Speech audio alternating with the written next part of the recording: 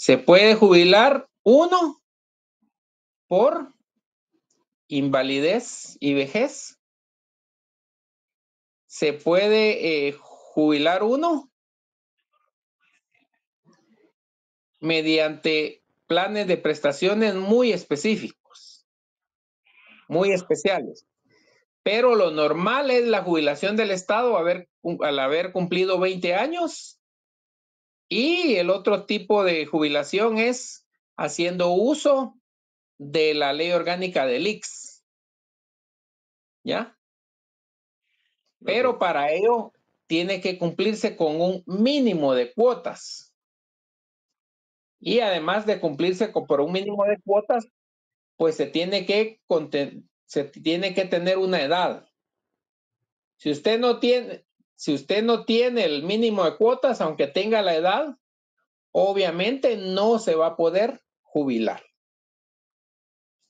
Y en ese sentido vamos a encontrar que en la ley orgánica del Instituto Guatemalteco de Seguridad Social hay varios procedimientos.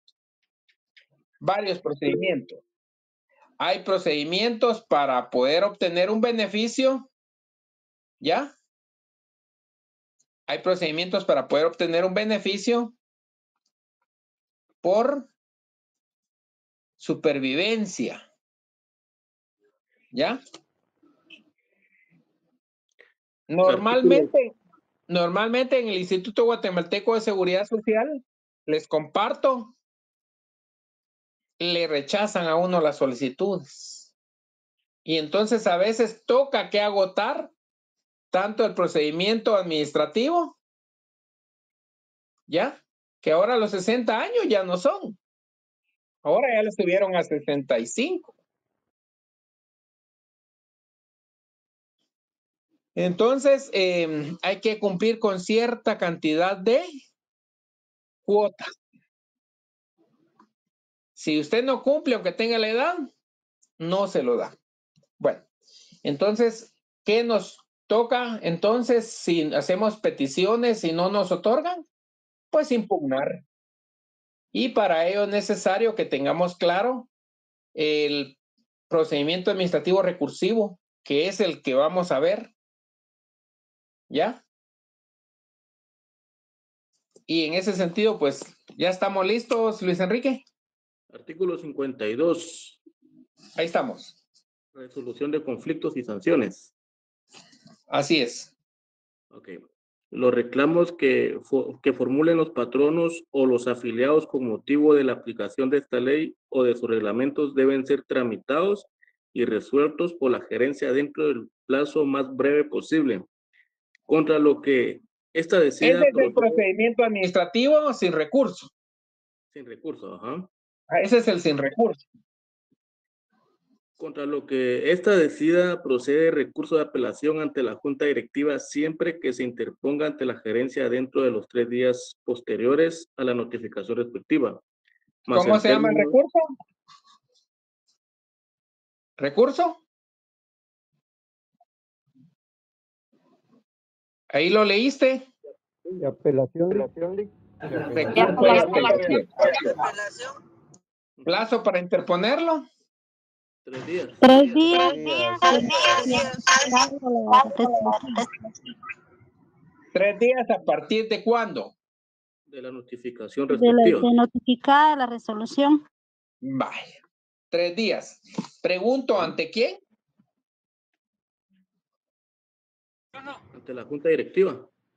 No, no, no, no. Ante el Instituto Guatemalteco de Seguridad Social, la Social, IBS. Ahí se recuerdan que los recursos los recursos se interponen ante la autoridad superior o ante quien emitió la resolución. ¿Qué, establece aquí?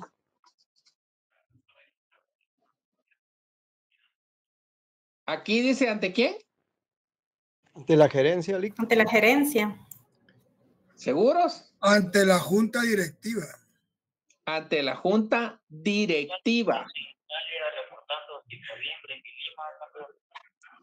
Siempre que se interponga ante, ¿qué dice? La gerencia. Como que hay dos ante ahí. Y que como hay dos ante, tiende a confundirnos. ¿Ya lo leyeron? Que hay dos ante. Sí, aparece ante la junta directiva y ante la gerencia. Va. Pero obviamente es una resol- resolución emitida por quién? Por el gerente. Y un- entonces, si usted quiere apelar, ¿quién es el que resolvió y quién es el que le notificó?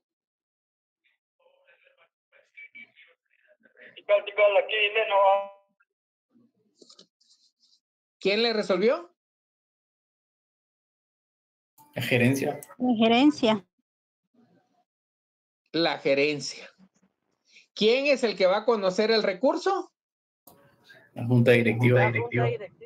la junta directiva. Es el superior jerárquico.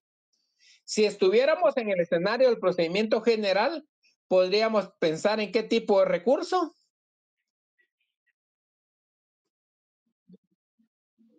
En un recurso más enfocado a un recurso de revocatoria. Pero no se llama revocatoria en este caso. ¿Se llama qué? Apelación. Apelación plazo para, plazo para interponerlo. Tres días. Tres días al día siguiente de la, de la resolución. Eh, plazo para elevarlo. ¿Establece ahí plazo para elevarlo? Cinco días hábiles siguientes. Fundamento legal, William. El segundo párrafo del artículo 52. Léetelo. Solo ante los tribunales de trabajo y de previsión social pueden No, discutirse las. esa ya es vía judicial. El plazo más breve. judicial. ¿Ya? ¿Qué establece ahí? El plazo más breve. ¿Seguro? ¿Cuál es el fundamento legal? El artículo 52. Son 10 días, Lick. 10 días siguientes a, a aquel en que se formuló el recurso. ¿En dónde está el plazo? Está en la última parte del primer párrafo del artículo 52. ¿En cuál? Dice, en la última parte, dice, el pronunciamiento de la Junta debe dictarse dentro de los 10 días siguientes a aquel en que se formuló el recurso. Pero eso se refiere al plazo para resolver.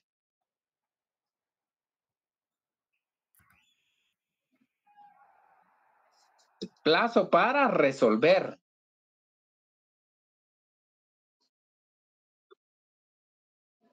Habla de un plazo para interponer el recurso de apelación y habla de un plazo para resolver el recurso de apelación. ¿Quién es el que lo va a resolver? La junta directiva. La junta, junta. directiva del IX. La junta directiva del IX. ¿Ante quién se va a plantear? Ante la junta directiva del IX. ¿Ante la gerencia o ante la junta? La gerencia. Es que de hecho se interpone ante la gerencia para que lo conozca quién? La junta La junta directiva, directiva. ¿ya? Pero les vuelvo a preguntar, ¿hay plazo para, para remitirlo?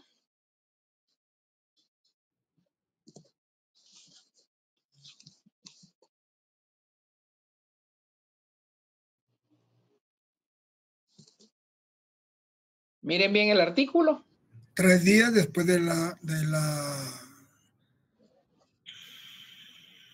Notificación. notificación. Así es. No, no, no. ese Remitirlo es plazo sería la pa- apelación. Ese es, ese es para plantearlo. Pero para remitirlo les estoy diciendo. Dentro de los cinco días hábiles. ¿Dónde está? En el segundo párrafo. No, no, no, no. Ese, esa es otra historia. Esa es la vía judicial. Lic sería dentro del plazo más breve posible. Ahí como no tiene plazo, obviamente. Tendría que ser inmediatamente, ¿verdad? Entonces, ¿cómo está el esquema? ¿Alguien me lo podría decir cómo sería el esquema entonces?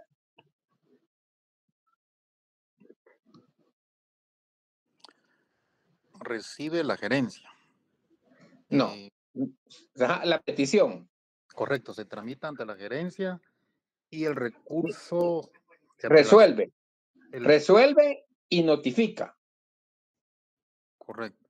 Y en contra que- de esa, en contra de esa resolución, se puede interponer un recurso de apelación ante la junta directiva. a- ante la Junta. Para que lo conozca quién. La gerencia. Ay, La junta directiva. Marvin ahí. Perdón, perdón, perdón, perdón. Vamos a ver. Se presenta, bueno, sea un reclamo de los trabajadores, de los afiliados o los patronos, se presenta, se tramita ante, ante la gerencia Sí. en lo más pronto posible, o lo más breve posible. Y luego, contra lo que se decida esta gerencia, se puede presentar un recurso de apelación ante la, ante la junta directiva. ¿Qué plazo? em, dentro de los tres días posteriores a la notificación respectiva, más el término de la distancia. Si ¿Plazo para elevarlo? Se considera. ¿Plazo para elevarlo? El pronunciamiento de la Junta Directiva debe dictarse dentro de los 10 días siguientes. Pero ese es el plazo para resolver. formuló el recurso. Pero ese es plazo para qué? Para resolverlo en definitiva. Entonces, el primer plazo que encontramos es dentro de los tres días. Plazo para elevarlo, como no tiene, pues, si no tiene, lo, lo más correcto es que se eleve inmediatamente. Y les voy a decir cuál es la razón.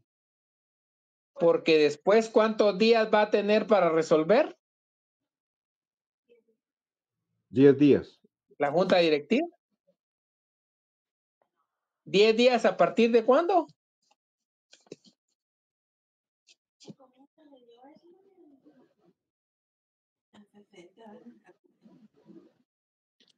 Ahí está. En que se formula el recurso. Ahí está, que se formuló el recurso. ¿Ya? Es hasta ahí, ahí en ese artículo, en el artículo 52, encontramos tanto el procedimiento administrativo sin recurso como el procedimiento administrativo recursivo en ese primer párrafo. Ahora vamos al segundo párrafo. Si se resuelve sin lugar el recurso de apelación, entonces esto nos va a dar lugar a que nosotros promovamos la vía judicial. La vía judicial. Pero en este caso, la vía judicial sería un juicio ordinario. Y como estamos en el ámbito de la previsión social, entonces sería un juicio ordinario de previsión social. Normalmente los juicios, para promover un juicio ordinario, normalmente son 30 días. 30 días. Pero en este caso, no habla de 30 días. Habla que para promover el juicio ordinario, en- concretamente de previsión social, ¿cuál es el plazo para promoverlo? Cinco días. Dentro de los cinco días hábiles siguientes a aquel en que quedó firme el pronunciamiento del instituto. ¿Qué quiere decir? Ya estaríamos hablando de la resolución del recurso administrativo de apelación. ¿Ya? No estaríamos hablando de, de un procedimiento administrativo recursivo, sino que estaríamos hablando de, de la vía judicial. En el mismo artículo está contemplado la vía administrativa sin recurso, con recurso, y está señalado que el juicio ordinario de qué les dije? De previsión social. Plazo para promover ese juicio ordinario de prevención social. Pregunto. Cinco días. Pero cinco días dice ahí o dentro. Dentro. Dentro. De los cinco días hábiles siguientes, ¿a qué? Que quedó firme el pronunciamiento Del instituto, dice ahí. del instituto. Va, Miren cómo simplemente, miren cómo simplemente en ese artículo están contempladas dos vías. Está contemplado el procedimiento administrativo.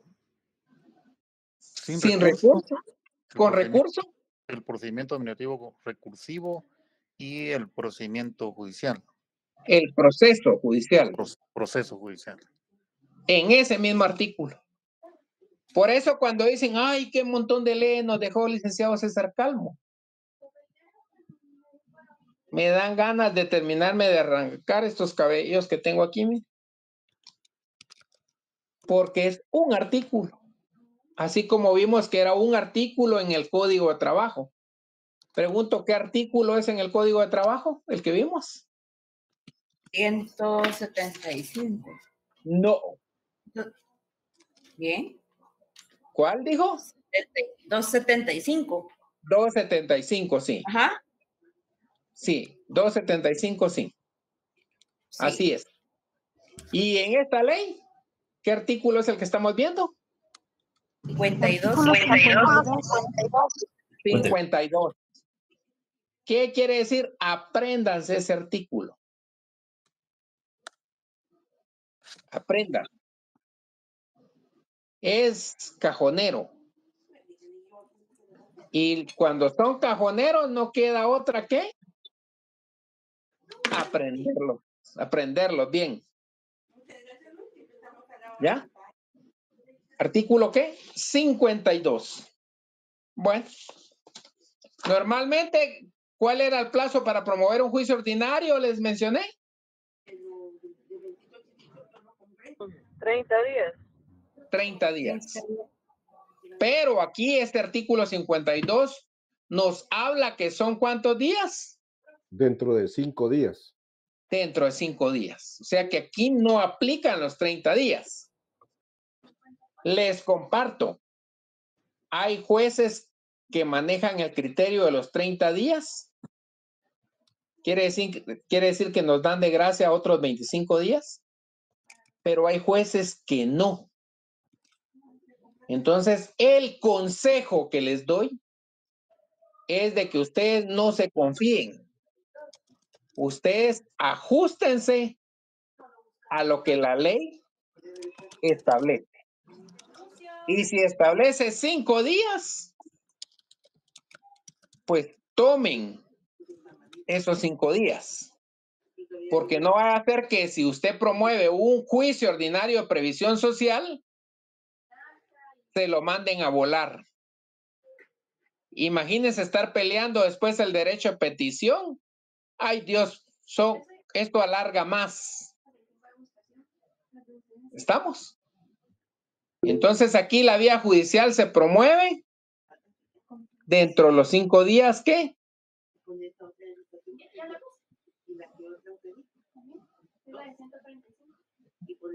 dentro de los cinco días Es ¿Qué? hábiles siguientes de notificado por el Instituto Guatemalteco. ¿Ya? Adelante, Jimmy. Sí, licenciado, eh, solo mi participación es para comentarle a algunos compañeros, porque usted yo sé que sí lo sabe, ¿verdad? De que dentro del plan del IX para, tenemos, eh, o está el plan de pensiones de los trabajadores y aparte para toda la población eh, que está afiliada al IX y que paga sus cuotas. Así es. Y los fíjese- trabajadores tienen mejores beneficios.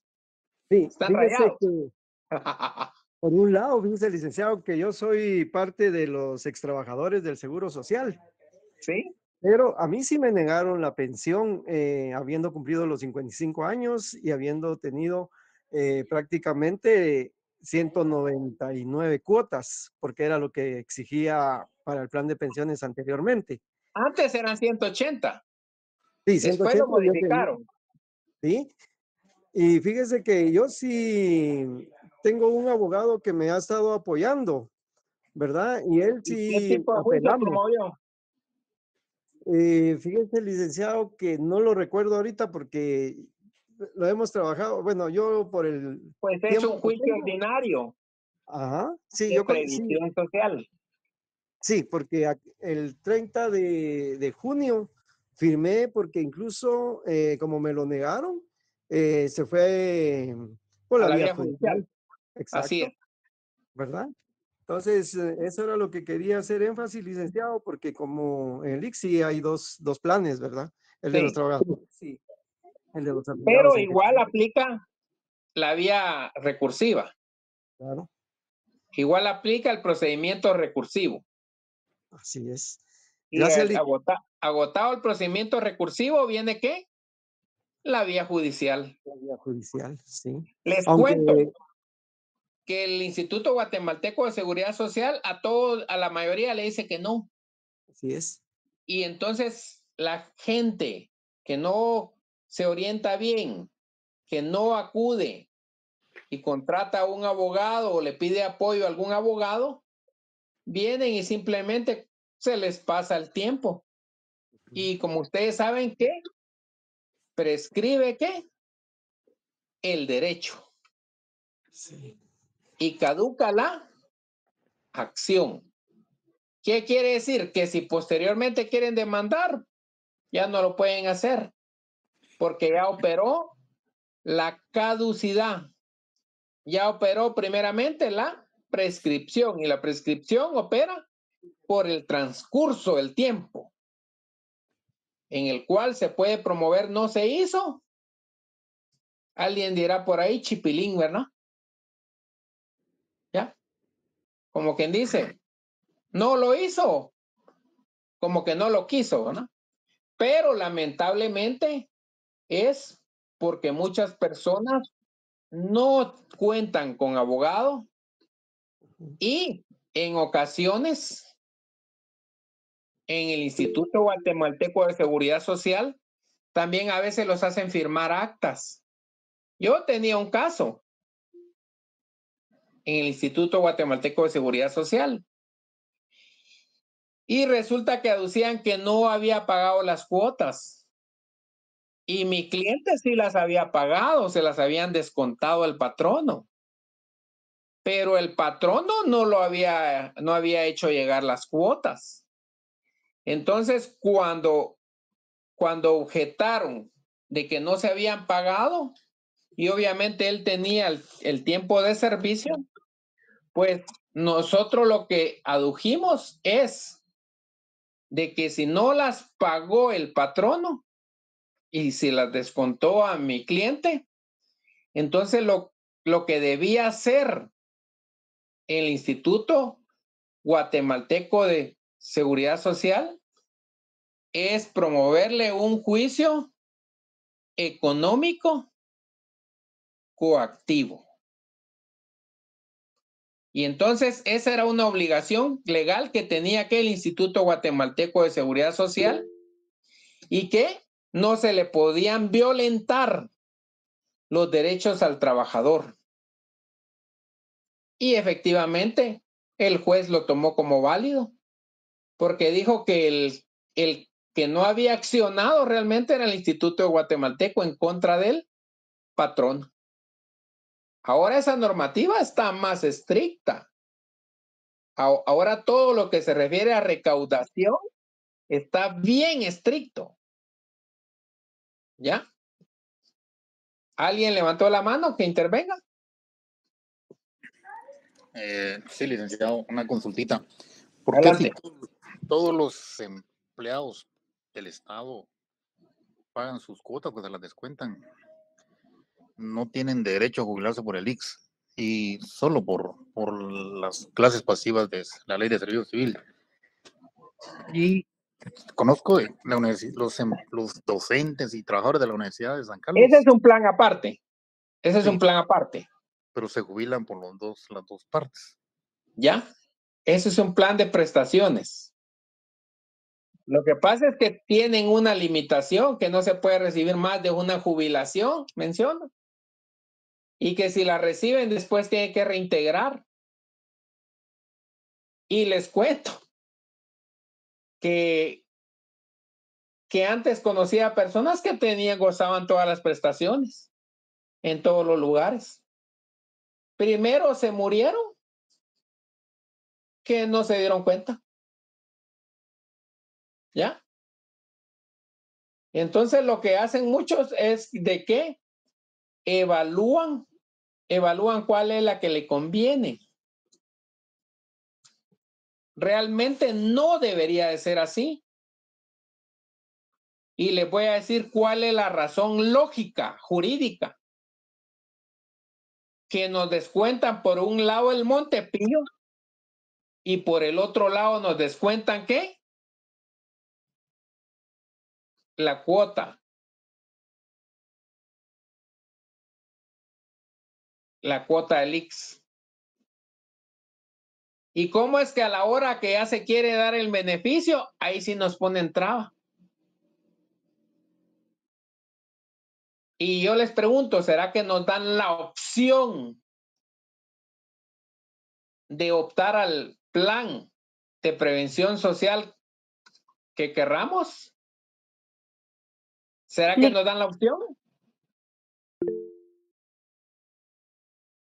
Adelante. Pero el Montepío no es obligatorio, por lo menos no en todos los lados. En algunos lugares no es obligatorio. Tendría que ser voluntario, Lick, no. Tendría que ser voluntario. Pero hay instituciones donde no lo descuentan de una vez. En la única institución donde no es obligatorio es en el, en, el MP. Pero le digo que les, qué consejo les doy a mis amigos que trabajan en el MP y que trabajan y a estudiantes que trabajan ahí. Aporten. Aporten, porque después conocí amigos que tenían 18, 19 años y que se salieron del MP y que nunca habían aportado. Y como no habían aportado, no tenían derecho a qué? A jubilación. Ah, pero como yo recibo mi dinero, ah, yo recibo más. Pero ahí se recuerdan que no siempre vamos a, a ser jóvenes. Y que va a llegar un momento en que ya no vamos a poder trabajar y entonces esos planes de prestaciones van a ser de mucha ayuda para nosotros. Comenzando, imagínense, con el IX, comenzando con la medicina. ¿Ya? Con la medicina. Si ustedes fueran a comprar su medicina, los que van acuden al IX, esa que les dan en el IX es un dineral. Podría hablarse de que una persona tendría que pagar si está enferma. Yo conozco señores ya grandes y que se gastan de tres mil a cinco mil quetzales mensuales de medicina. Imagínense. Solo para, para el medicamento podrían trabajar si pudieran trabajar. Y si no, entonces el consejo es de que siempre aporte. Adelante, Marco Aníbal. Gracias, licenciado. Solo eh, en el caso que usted mencionó eh, anteriormente, eh, eso ya se podría tomar si otros casos fueran ya ganados como casación para, para, para el futuro, licenciado. ¿Cómo así, Marco Aníbal? Como, como usted explicó de que ese, ese caso eh, usted lo ganó y, y pues el IX tuvo que reconocer que fue, ellos no accionaron. En otros Así es. Y el juez lo casos- consideró en su, el juez lo consideró en su sentencia, en el juicio ordinario. ¿Y de esos casos han existido más, licenciado? Disculpe. Ah, eso es lo normal, Ah, correcto. Porque no es la obligación, oiga bien, no es la obligación del trabajador si a él se lo descuentan. Y es más, mi hijo trabajó una tesis. Su servidor lo asesoró un poco en relación a esa tesis. Y es, iba enfocada a la problemática que afrontaban los trabajadores por no estar al día el pago de la cuota del IX. Porque resulta que él se la descuentan. ¿Y quién se la agarraba? La El empresa patrono. se las queda. El patrono, se las, el patrono se las queda. Ahora está más estricto, porque ahora le dan la posibilidad al trabajador de poderse ir a inscribir, aunque el patrono no, no lo reporte. Pero antes se la agarraba el patrono. ¿Ya? Y como para que la cuota sea perfecta, debe ser un porcentaje por el patrono y una por el trabajador. Imagínense que el patrono no pagaba la de él, pero se agarraba la del trabajador. Y entonces en la audiencia alegué que eso no era obligación, no era una obligación del trabajador, sino que era una obligación del Instituto Guatemalteco de cobrar las deudas. Si no lo hacía, eso no se le podía atribuir a quién? Al trabajador. En el caso de mi hijo, trabajó la tesis y le voy a decir en qué iba enfocada. Iba enfocada a que muchas personas tenían un accidente y que cuando iban no los atendían, no les podían hacer una cirugía em- de emergencia, porque ¿qué pasaba? No tenía al día sus cuotas. Les voy a comentar qué problemas tuvimos un montón de docentes en la universidad. Yo antes no iba al control del IX. Y un montón de años. Y tengo como 30 años de estar pagando. No iba. Y les digo qué pasó. Que, que cuando tomaron la universidad, como no nos pagaban y no había quien nos diera un certificado, entonces no podíamos ir a que nos atendieran en el IX. No podíamos ir a que nos dieran medicina si necesitábamos. Después fue que se crearon las, las planillas electrónicas. Eso vino a ayudar un montón. Pero antes de esas planillas electrónicas, vieran los problemas que se daban. Adelante, Yulisa. Yo creo que solo pi- pidiendo ingresar está. Bueno, entonces, previsión social, Instituto Guatemalteco de Seguridad Social. Pensiones, hay pensiones que las otorga el IX y hay pensiones que las otorga el Estado. Y hay personas que cuando les preguntan no dicen que ya están jubilados en el Estado, se jubilan por el IX. Y yo no he visto que pase algo. ¿Ya? Por el contrario, sabía el caso de un señor. sabía del caso de un señor, oigan bien, y este sí estaba más delicado, el asunto, porque él ya tenía jubilación del Estado y después se fue a un renglón 022, a una institución. Imagínense. Y el, no, no se, el Estado no se dio cuenta. Primero se murió, hace como un año se murió el señor. Y yo de ese asunto sabía desde el 2006. Imagínense cuántos años pasaron. Y el Estado no se, el monstruo no se dio cuenta. ¿Ya? Adelante, Laura. Licenciado, buenas noches. Disculpe la pregunta. eh, ¿a- ¿Una entidad bancaria puede embargar una cuenta de un jubilado del IX? Lo que pasa es que, mire, pues primero tiene que, eh, tiene que acreditar la entidad bancaria. Si se la embarga, le digo, ¿qué pasa? Si se le embarga, viene. Y si el trabajador no hace nada, pues ahí se le queda el embargo. ¿Ya? Es que embargarlas, todas las pueden casi embargar. La cosa es que si la gente objeta, si él objeta y dice, mire, la verdad es, eso es producto, producto, eso es lo único que tengo para mi subsistencia. Viene el juzgado, pero obviamente lo tiene que hacer. ¿Ya? Lo tiene que objetar. Usted sabe que si usted no objeta, el que calla, dice dicho, ¿qué pasa? Otorga. Otorga. El que calla otorga. Y si usted no, no hace nada, Laura, ¿qué va a pasar?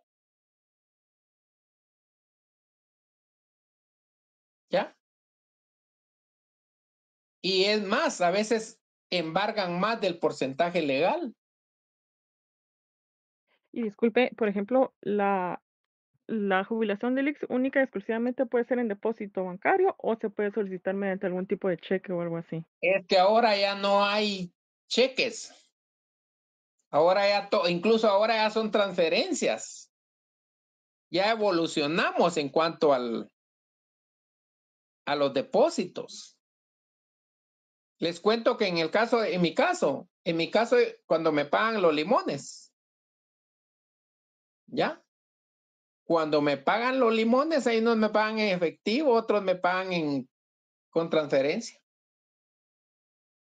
Hasta una simple venta de limones, imagínense. Y ahora el Estado sí ya está tecnificado. Aparte que van rural, eso de la... En Ban Rural, sí, a unos familiares le sacaron dinero por medio de las transferencias y pagaron impuestos de otras personas en la SAT, les cuento. Imagínense.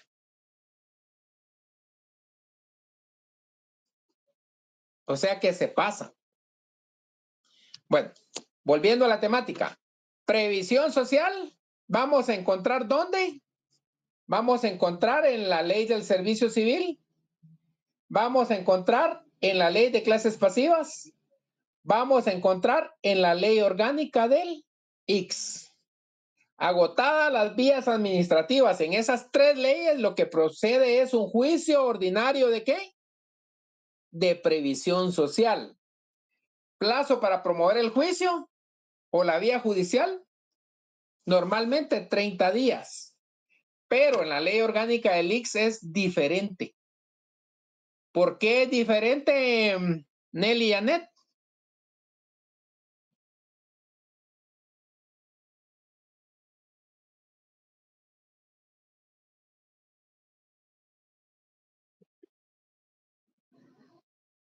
¿Por qué es diferente, Rocío?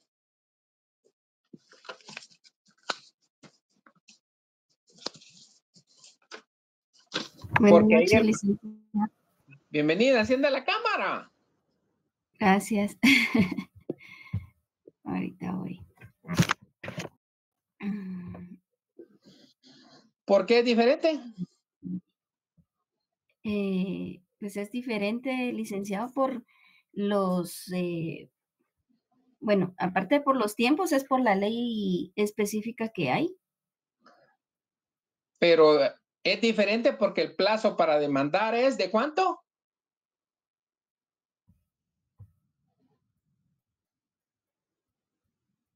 De,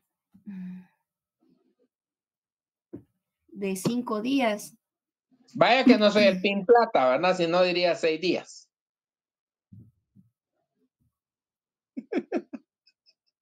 Cinco días, ¿verdad? ¿Estamos? Sí, licenciado. Eh, iba a comentar ahí con, con esta cuestión de, de, lo que son las, las pensiones, ¿verdad? De las personas jubiladas. Yo trabajo en Sí. una dependencia del Estado y lo Sí. que ahora están haciendo cuando contratan 022 es de que la persona lleve una constancia precisamente de clases eh, pasivas, ¿verdad? Para ver si no eh, es un jubilado del Estado. Y si así el caso, eh, esta persona tiene que suspender su jubilación. Suspender. Eso es lo correcto. Suspender la jubilación. Eso es lo que la, la acción que está tomando ahorita Es que eso es lo correcto, Rocío. Rocío. Eso es lo correcto. Pero en el caso que yo les menciono, en el 2006, y el señor se murió el año pasado. Del 2006 al, al 2022, ¿cuántos años pasaron? 16 años. Y que yo, cuando una vez me lo encontré, le dije, mire, le si lo llegan a descubrir, le van a pedir el reintegro. No, me dijo el señor. Y tuvo suerte. Se porque murió prim- primero. se murió primero. Oiga lo que le estoy diciendo. Pero ahora esos casos son muy raros.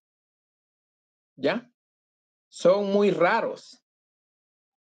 Ahora es más fácil, hay más control. Bueno, eso es entonces en cuanto a la ley orgánica del IX. ¿Cuántos artículos vimos? Uno. Uno. Uno y suficiente. A mi familiar les cuento que un mi familiar cumplía años el, el 3 de febrero. Y resulta que lo invitaron a cenar el 2 de febrero. Fue una cena como por la zona 10 y después llamó a la familia y dijo que ya iba para la casa. Y resulta que después ya no dio luces, ya no dio señales. Y resulta que de madrugada, como a las 2 o 3 de la mañana, llamaron.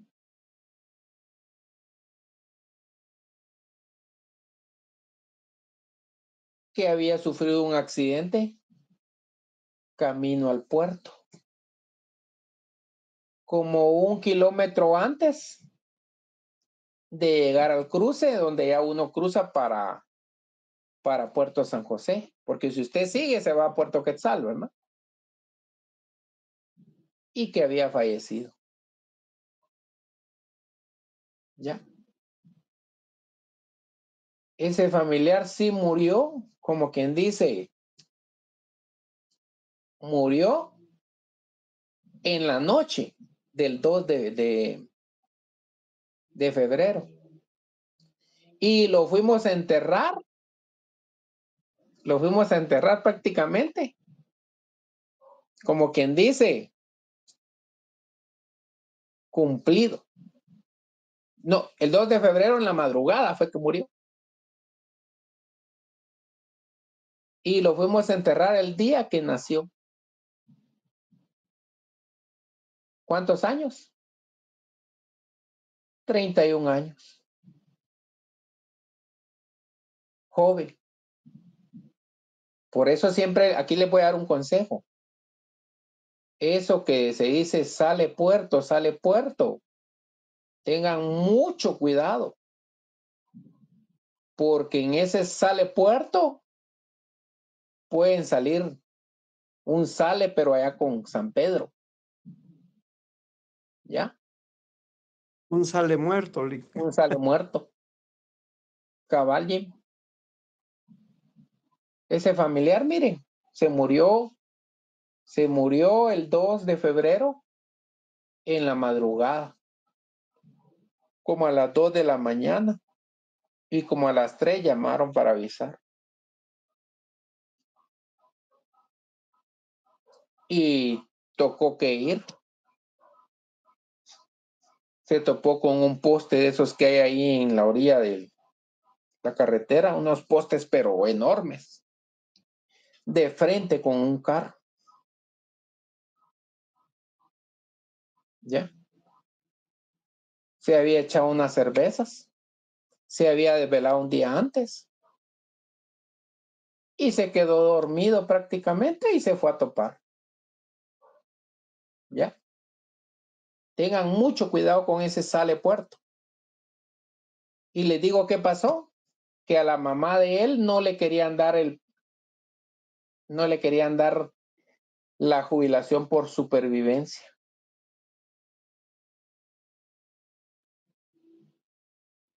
Porque el todo le dice que no.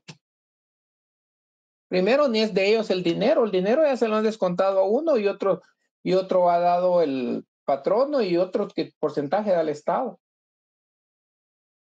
Y las trabajadoras sociales le hicieron firmar hasta un documento. ¿Ya? Dijeron que ella tenía esposo y no tenía esposo.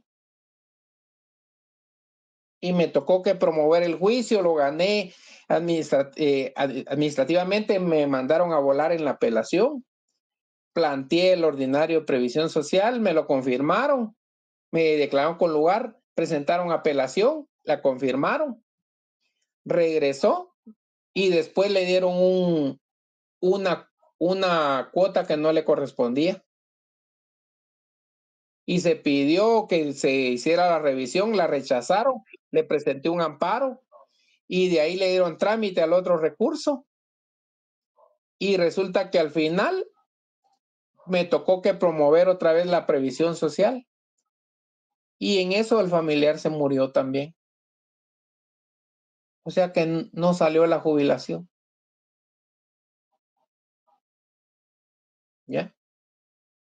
Ahora... Lick, perdón, pero... Sí, Lick, perdone. Pero eh, cuando uno llena la documentación, piden beneficiario o beneficiarios. Eh, yo no sé si, bueno, eh, tengo 12 años de, ya no estar en el Seguro Social, no sé si han cambiado las, las normativas. Ajá. Pero en ese caso era la mamá. Sí. Ajá. Tenía, ella tenía el derecho. Tenía el derecho, pues. Legalmente. Ajá. Aunque no hubiera llenado ese formulario. Ah, bien, bien, bien. ¿Ya? Ustedes saben que hay cuestiones legales. Sí, definitivo. Y ahí la mamá tenía el derecho, primero se murió la mamá. Cabal ahorita en, en este año murió. Este año que viene cumple un año de fallecida, en marzo. Sí, está bien difícil en el. Por eso es que yo les digo, miren, la eficacia, darle a la gente lo que pide cuando, cuando corresponde. Ahora hay que iniciar un incidente post-mortem para que, para que un familiar vaya a recoger la pensión que ya se le había corrido desde que se inició el trámite hasta que murió. Les cuento. Eso es duro, miren. Yo porque he estado, he estado en instituciones, he estado afuera litigando y he apoyado gente en ese sentido. He apoyado jubilaciones del Estado que a veces no se las quieren dar, los he apoyado. Y a veces no les quieren dar jubilaciones del IS, los he apoyado también. Adelante.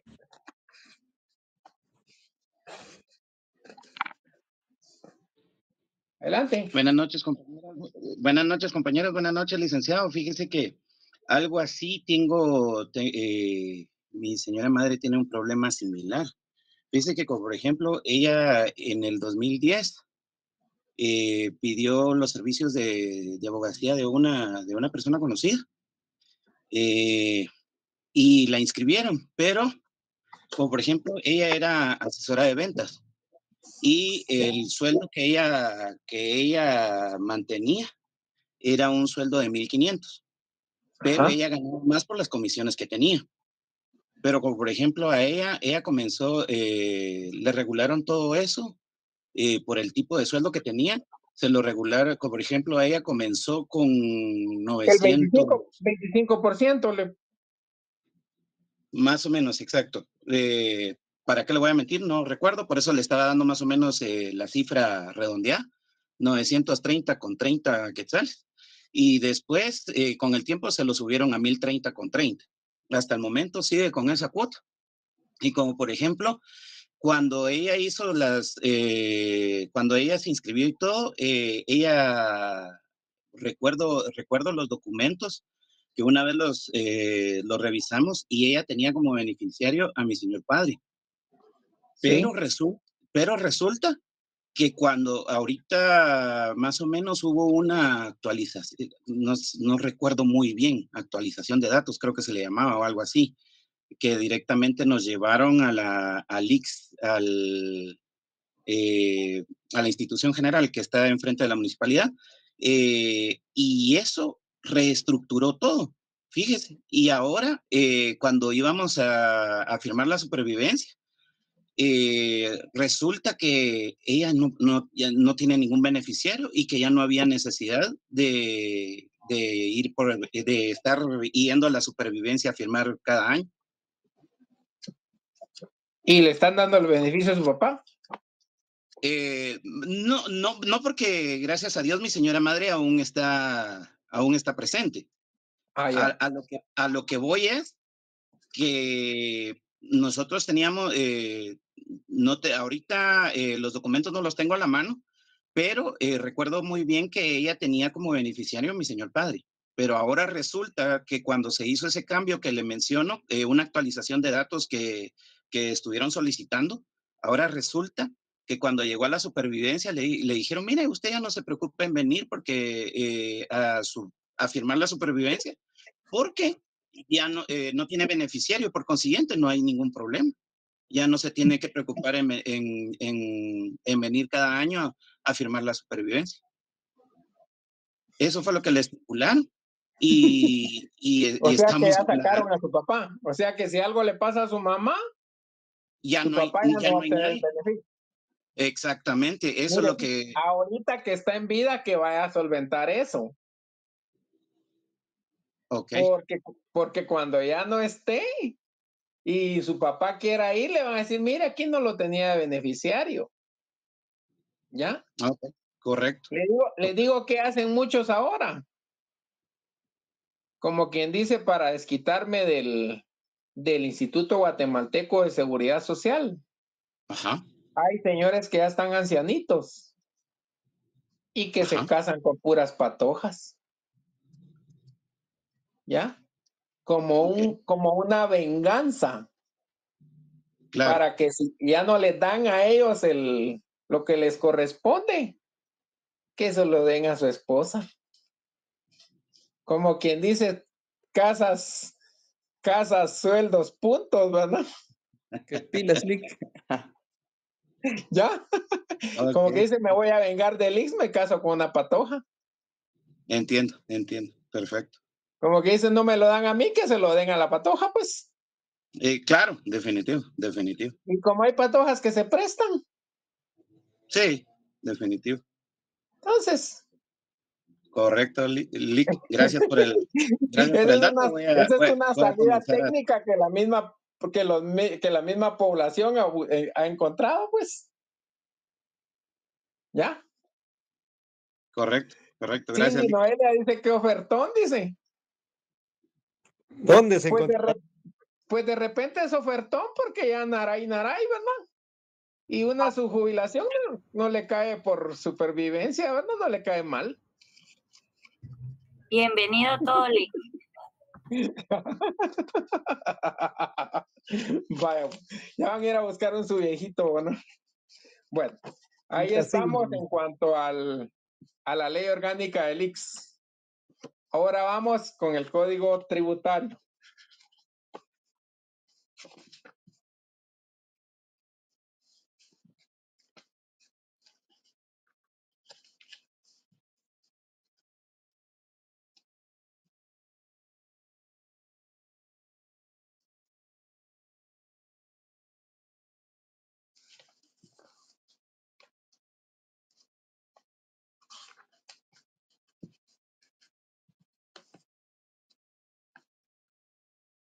Usted diga, recibe la jubilación por ver. Y de repente ya no ve bien. Disculpe, y los beneficiarios únicamente pueden ser las esposas y, lo, y la madre o algo así. ¿Algún hijo o alguna hija? Sí, los, los hijos, sí, los hijos. Pero, pero en el caso que sean menores de edad, Ah, ya. ¿Ya? Y con alguna discapacidad. Ah, y podría ser el caso, ¿no? Pero hay que pelearlo. Y tengan seguro que el IX les va a decir que no. Y los que no se auxilien con abogados, ahí se quedan. Eso es lo más triste, mir. Ahí es donde se fortalece más esto que les digo que el Estado es un monstruo. Y que el administrado es, es, no tiene la capacidad de enfrentarse a ese monstruo. A veces no, ni la gente se aprovechan de la gente más sencilla, de la gente que menos conocimiento tiene. Y realmente a esa gente posiblemente sea la más necesitada de obtener el beneficio. Eli Mireya dice que va a anunciar la, la venta de sus beneficios. Lo va a subastar, va a decir.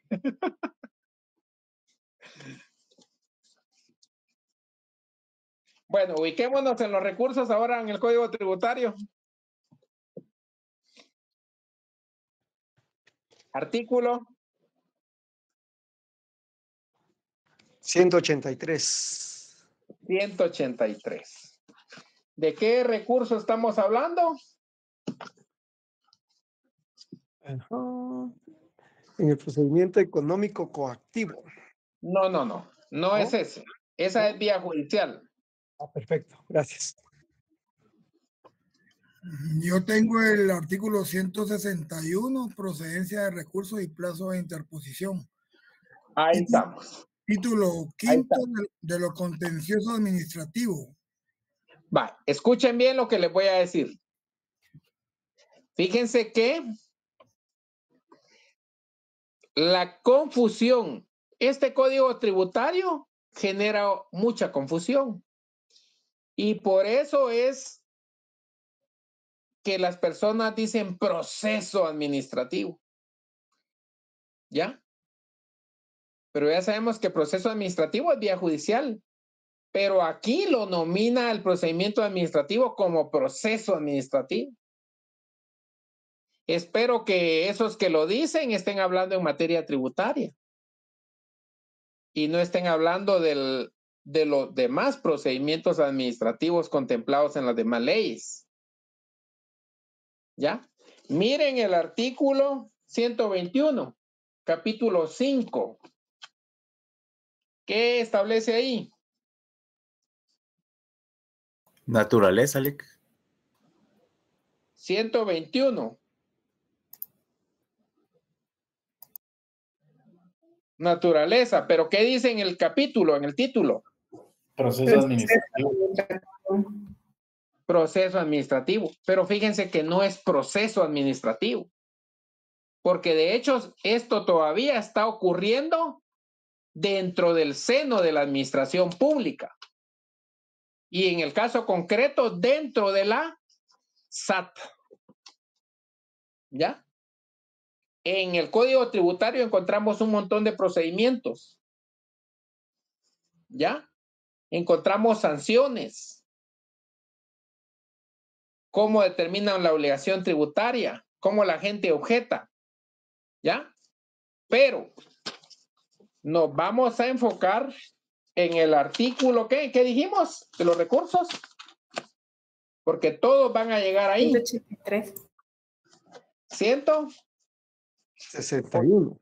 161. Que vamos a estar hablando. Vamos a estar hablando del los Contencioso recursos. 154, miren. 154.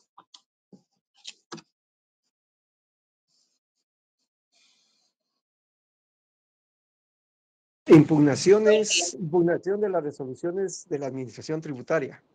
Sección única, recursos de revocatoria y reposición. Recursos revocatoria y reposición.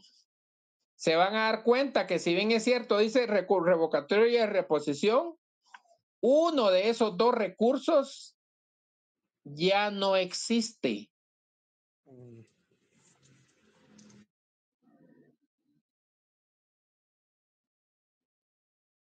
Pero ahí quedó establecido en el, en el, en la sección. Léete el, leas el 154, Jimmy. Claro que sí, Lic. Artículo 154, revocatoria. Las resoluciones de la Administración Tributaria pueden ser revocadas de oficio, siempre que no estén consentidas por los interesados o a la instancia de parte. En- Ujú. Ahí no estamos hablando de recurso, ¿verdad? No. Sino que estamos hablando de qué? Resolución. de La la- revocatoria de, Oh, ¿de qué? De oficio. De oficio. En el primer párrafo. Y les, les comento, fíjense que aparte de ese horror que cometieron que llaman al procedimiento proceso administrativo en el código tributario, pero en el código tributario definen de mejor manera las instituciones del procedimiento administrativo. Porque hay leyes donde no definen qué es revocatoria de oficio, hay leyes donde no definen qué es un recurso de revocatoria o las definiciones son bien escuetas. Y se van a dar cuenta que aquí son más amplias. Seguí leyendo. Siga Claro leyendo, sí. En este último caso, el recurso se interpondrá por escrito por el contribuyente o el responsable o por su ¿De representante qué legal. recurso estamos hablando, Jimmy? Eh, mm, perdón, perdón. El de revocación, revocatoria, Lic. Va. Al, a, un, a un lado del primer párrafo del artículo 50 154, anoten revocatoria de oficio. Y en el otro párrafo, anoten recurso de revocatoria. Para que tengamos claro que ahí en ese artículo, en ese artículo está regulado tanto la revocatoria de oficio como el recurso de revocatoria.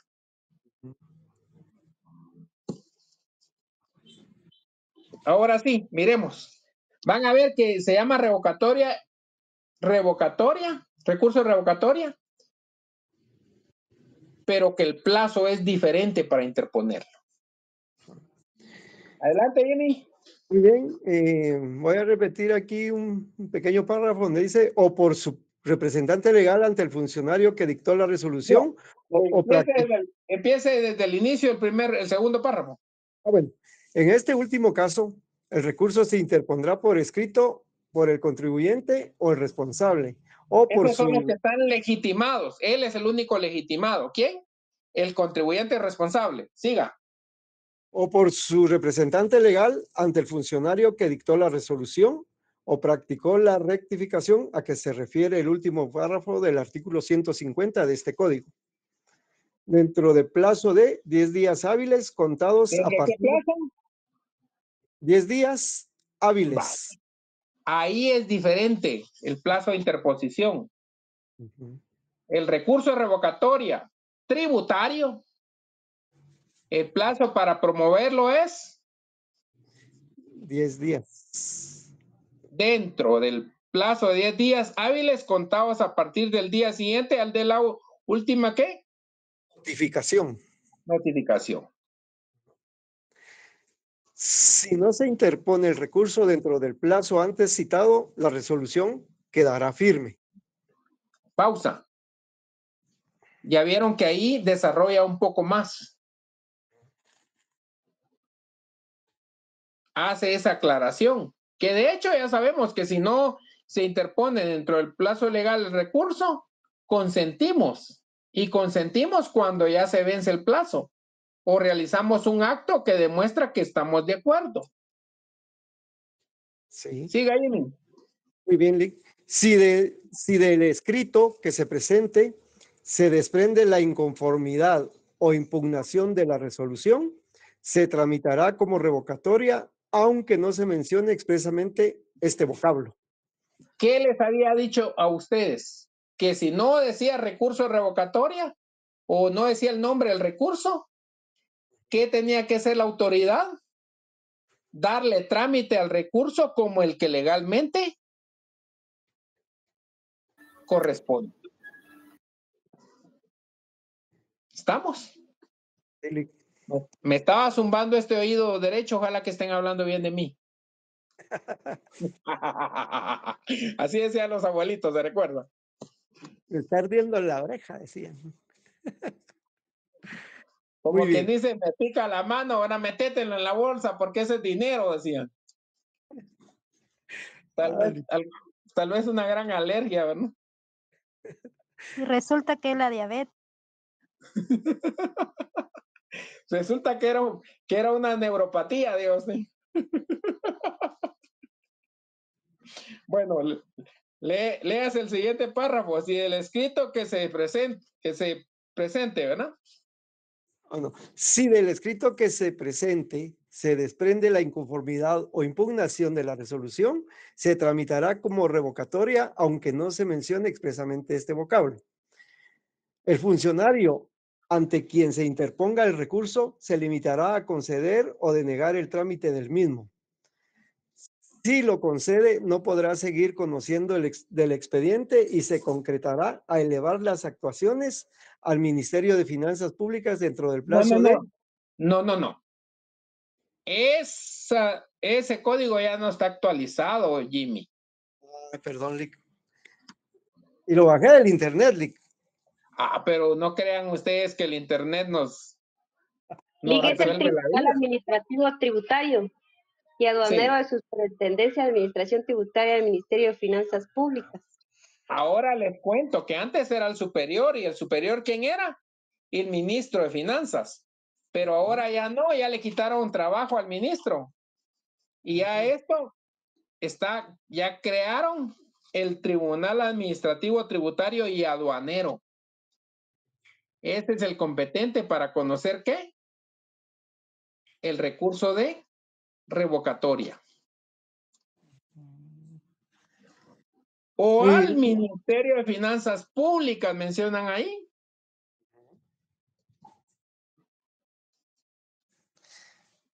¿Cuál es la diferencia? Que si es un asunto de carácter tributario, lo va a conocer el tribunal tributario. Pero si es un asunto de carácter financiero, lo va a conocer quién? O sea que en el asunto financiero siempre quedó quién? El Ministerio de Finanzas Públicas. El Ministerio de Finanzas Públicas. Licenciado, ¿cómo se llama el tribunal? Ahí está, Tribunal Administrativo Tributario y Aduanero de la Superintendencia de Administración Tributaria. Y hay códigos donde solo decía Ministerio de Finanzas. El suyo así decía Jimmy.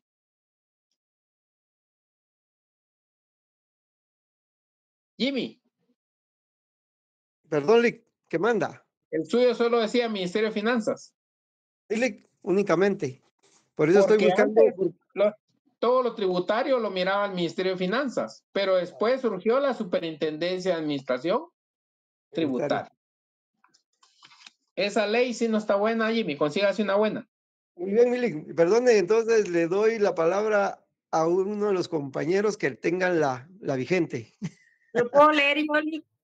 Sí, es que favor, María siempre que se descargue algo de internet hay que ponerle mejor eh, actualizado y el año 2023 para que le aparezca a uno lo más actual. Siempre hay que tener cuidado, pero ni así, fíjese, Zulma. Cierto, licenciado, porque yo lo, ahorita lo bajé y lo pedí actualizado. Igual me tiene lo mismo que tiene el compañero Jimmy. Así es. Bueno, ¿me puede volver a leer el párrafo, María Nieves? Con gusto, licenciado.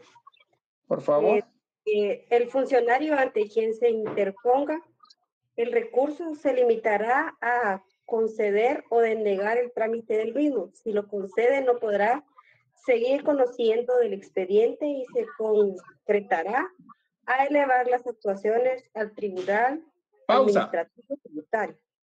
Pausa. Ahí adelantito vamos a encontrar el plazo para elevarlo. Ya dijimos que el plazo para interponerlo no era cinco días, sino que aquí eran ¿cuántos? Diez días. Diez días. ¿Pero diez de días de qué? Diez días hábiles. Hábiles después de notificada la resolución. Va, ahí estamos. Siga, por favor. y aduanero de la Superintendencia de Administración Tributaria y al Ministerio de Finanzas Públicas. En O su al. caso, O al. O, o al ministerio, ajá, o al Ministerio de Finanzas Públicas. Sí, ahí estamos. Caso dentro del plazo de cinco días hábiles. ¿Ese es el plazo para qué? Este es el plazo Para elevar el recurso. para elevarlo. Ajá. Siga. Cinco días hábiles. Si lo deniega, deberá razonar el rechazo. Si rechaza el recurso, quiere decir que no lo admitió a trámite. Siga leyendo. El Tribunal Administrativo Tributario y Aduanero de la Superintendencia de Administración Tributaria y o el Ministerio de Finanzas Públicas resolverá confirmando, notificando, revocando o anulando la resolución recurrida. Notificando, dijo María Nieves. Sí, dice, modificando, revocando o anulando la resolución, la resolución recurrida dentro del plazo de 30 días hábiles. Entonces el plazo para resolver aquí son De 30 días hábiles. 30 días hábiles. A partir de que se... Y, y en la ley de lo contencioso, ¿cuál era el plazo para resolver? ¿Se recuerdan?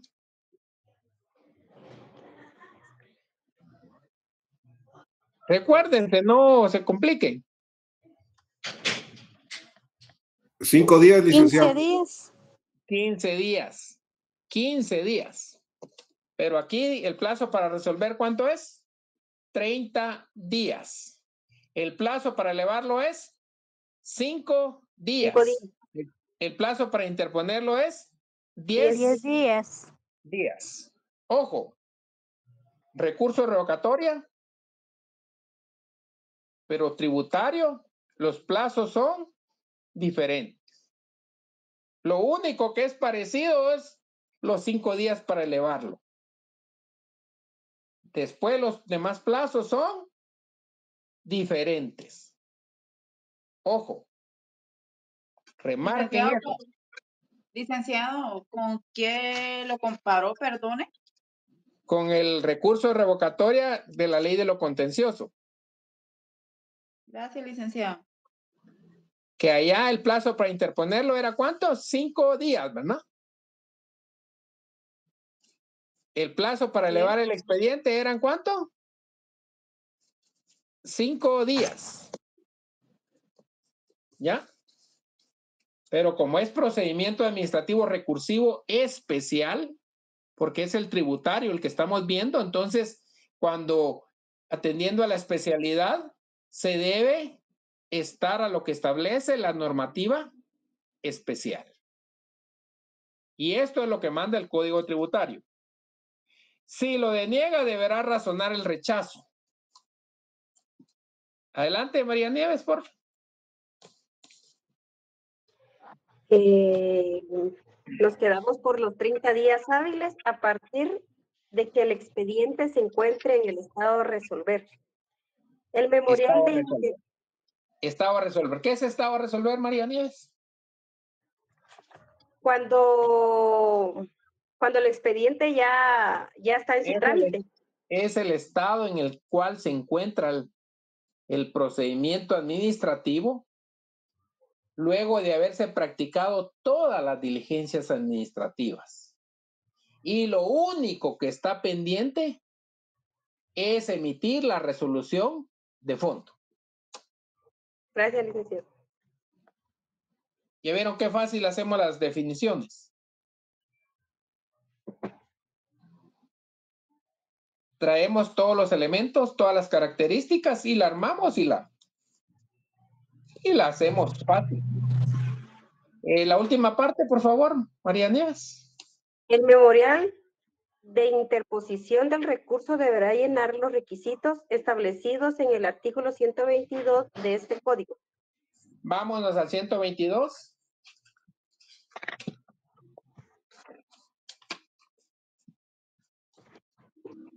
Esos son los requisitos formales del recurso de revocatoria en materia tributaria. Pregunto, ¿en qué artículo están establecidos los requisitos formales del recurso de revocatoria con base en la ley de lo contencioso? ¿Se recuerda? ¿Artículo qué?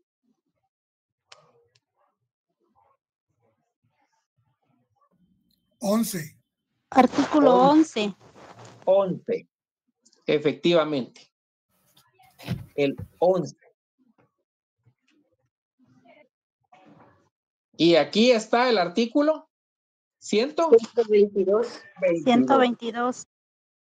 Bueno, ¿cuántos requisitos tiene el 11, Estuardo Rodas?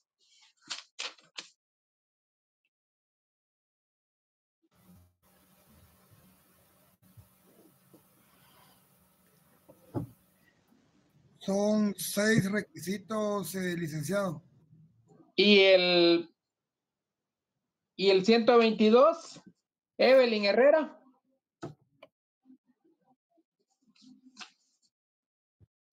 Son seis licenciados. ¿Qué de diferente encuentran ustedes entre el artículo 11, la ley de lo contencioso, y el 122 del Código Tributario? Lean los dos al mismo tiempo. Y les voy a dar un par de minutos. Y después me dicen qué, encontraron de diferente.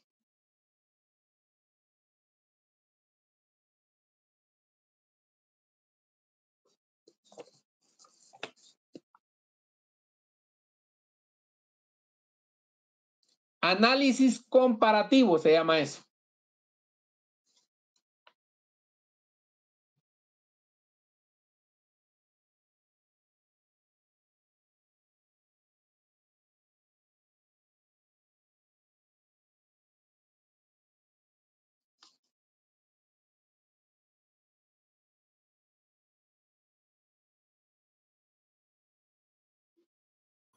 Lic, Uno podría ser de que la omisión de alguno de los de, de alguno de los requisitos no hace que rechacen la, la petición. Igual es allá, porque en el derecho procesal administrativo existen previos.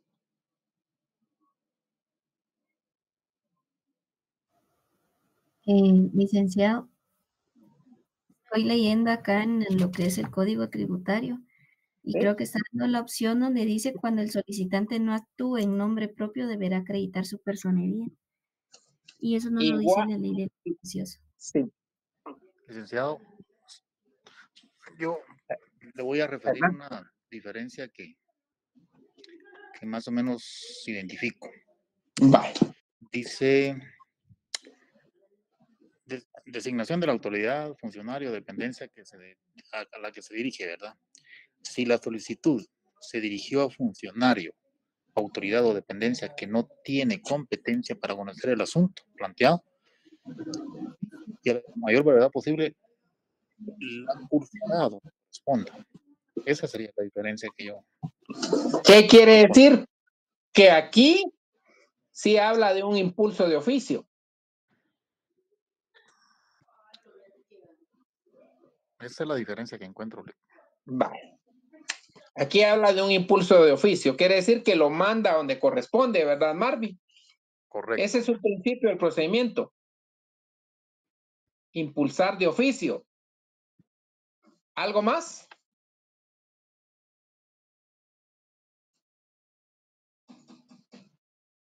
Licenciado, podría ser donde dice identificación precisa de la resolución que impugna y fecha de la notificación de la misma. Eso sí está igual en el 11.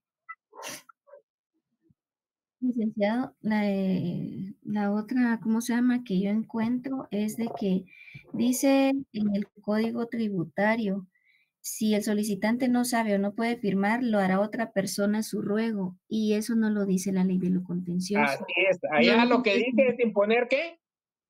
La huella digital del dedo pulgar derecho u otro que especificar. Así es. Así es. ¿Algo más?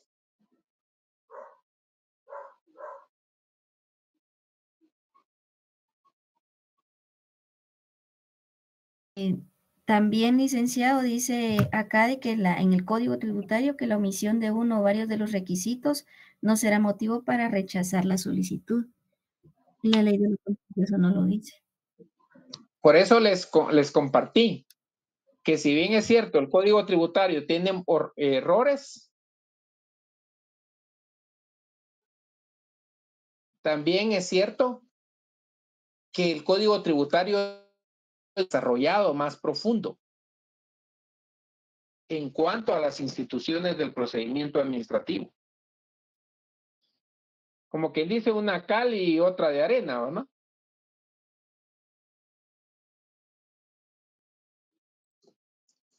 ¿Algo más?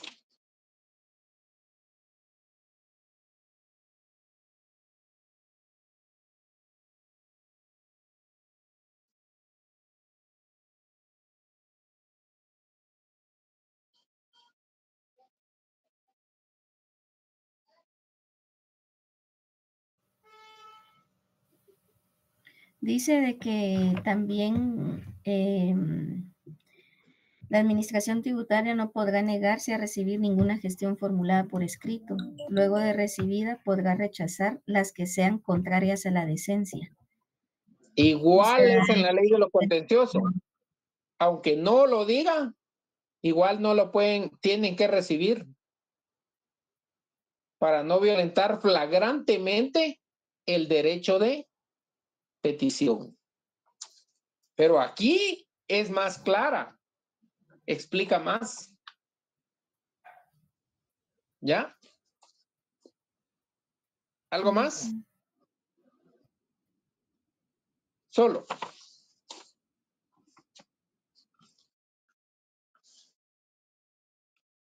Quiero que verifiquen y me hagan un listado de qué procedimientos administrativos sin recurso encuentran en el código tributario.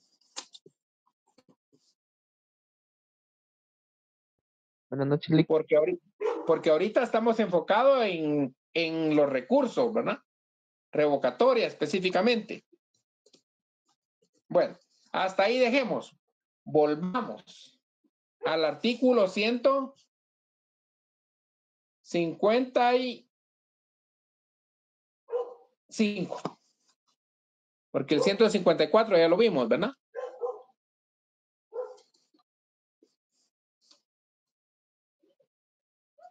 Aquí quiero que hagan algo. Ese artículo 155, enciérrenlo en un cuadro. ¿Por qué quiero que lo encierren en un cuadro? Porque aquí hay un procedimiento dentro de otro procedimiento. Y si leen de corrido el artículo 154 y el 155, tiende a confundir. Por eso les digo, enciérrenlo en un cuadro. ¿Por qué les dijo que lo cierren en un cuadro? Porque en el artículo 55 lo que está contemplado es el ocurso. Y el ocurso no es más que el derecho que tiene el que interpuso un recurso administrativo y especialmente en este caso, en materia tributaria, para poder objetar el rechazo. Quiere decir que si no le admiten a trámite su recurso, entonces se puede ocursar. ¿Y qué es ocursar? Como a mí me gusta hablar claro, ¿verdad? ¿Es como un tipo de apelación, licenciado? No, no, no. Ocursar es irse a quejar con el superior.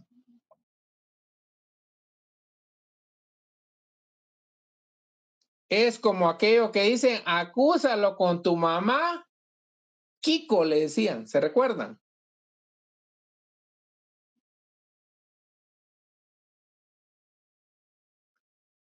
Como quien dice, no le da trámite al recurso, me voy a ir a quejar para que le lo admita trámite.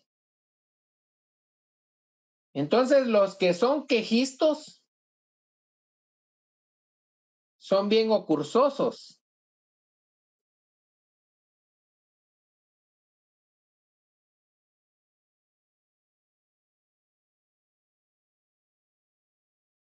Ocúrsalo con tu mamá Kiko. Por no decir, acúsalo o quéjate con tu mamá Kiko.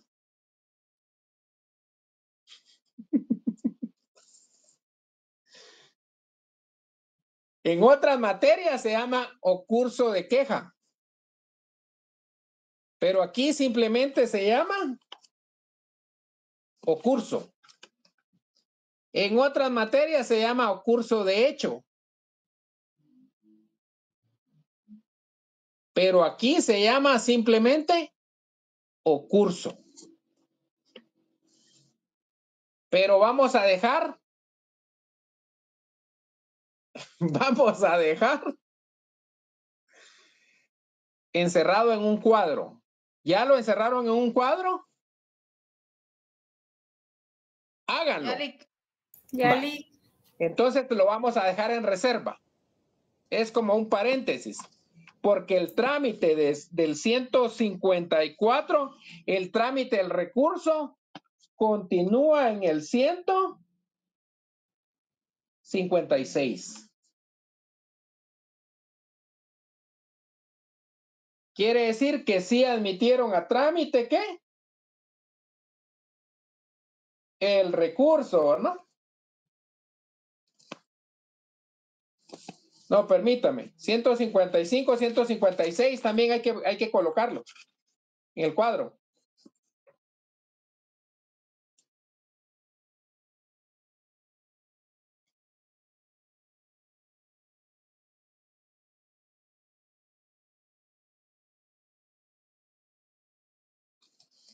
155 y 156, perdón. También va el 156. Es parte de lo curso.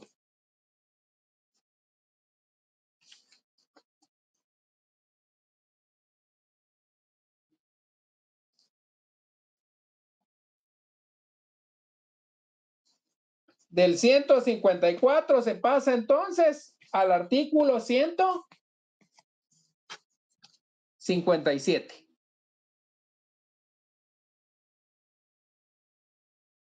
Y les comento que hay quienes que lo leen de corrido.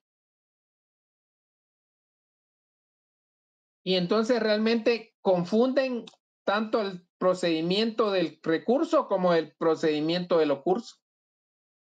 Y ustedes saben que no se puede mezclar, como dicen en los pueblos. ¿Qué?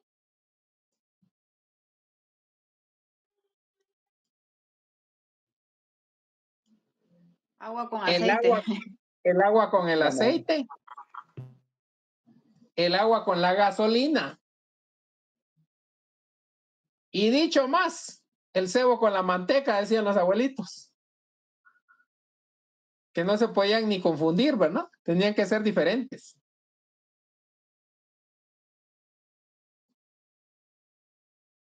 ¿Estamos? Hay quienes que los enseñan de corrido y esto se vuelve un relajo. Por eso les digo encierren el 155 y el 156, porque ahí en esos dos artículos solo se va a ver el trámite de lo curso. Vámonos al 157 entonces. Magalí, apóyenos con el 157.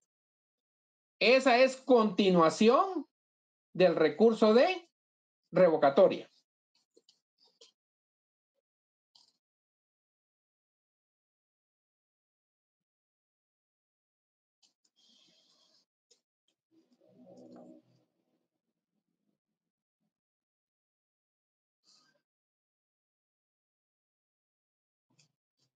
Magalí. Ahorita voy, Lick.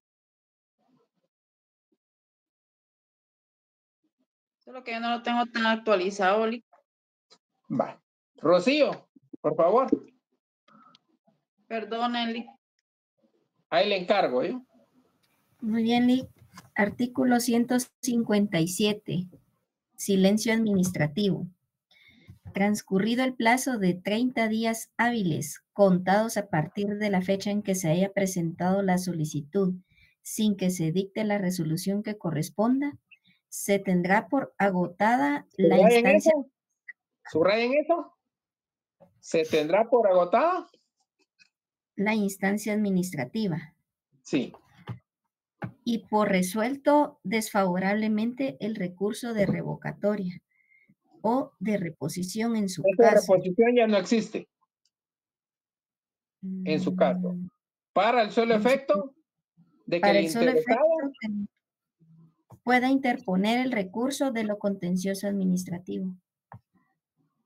para que pueda interponer el proceso de lo contencioso administrativo, pero en materia tributaria, si se refiere a tributos.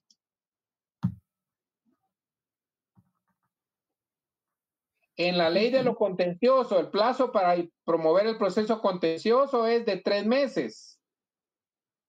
Y en el Código Tributario, el plazo para promover el proceso contencioso tributario es de 30 días. Es diferente.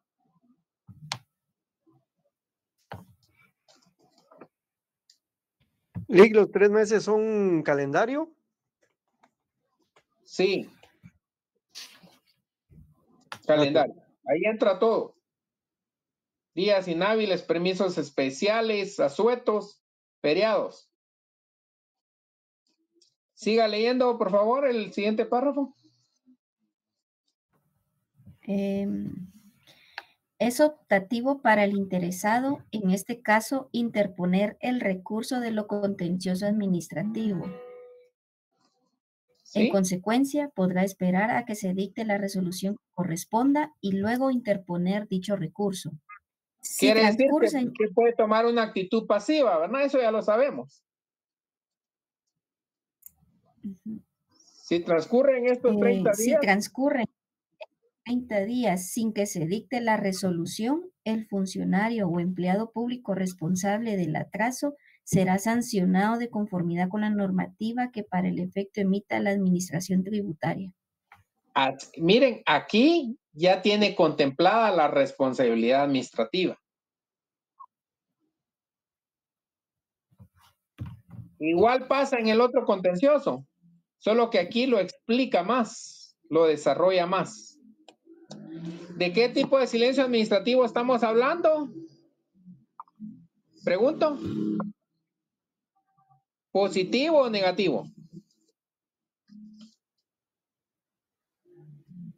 Negativo. Positivo. Negativo.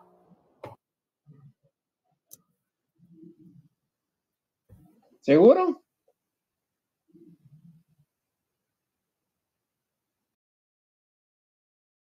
Sí, Lick, negativo. Positivo, Lick. Li- Licenciado, di- negativo porque dice desfavorable o no. ¿O no es por Así eso? es, así es. Negativo.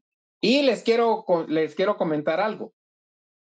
Aquí el silencio es negativo, pero en el artículo 155 y 156 que se refiere a lo curso, ahí el silencio administrativo es positivo. Porque si no se resuelve el ocurso, se tendrá, se tendrá que declarar con lugar y como consecuencia admitir a trámite el recurso de revocatoria rechazado.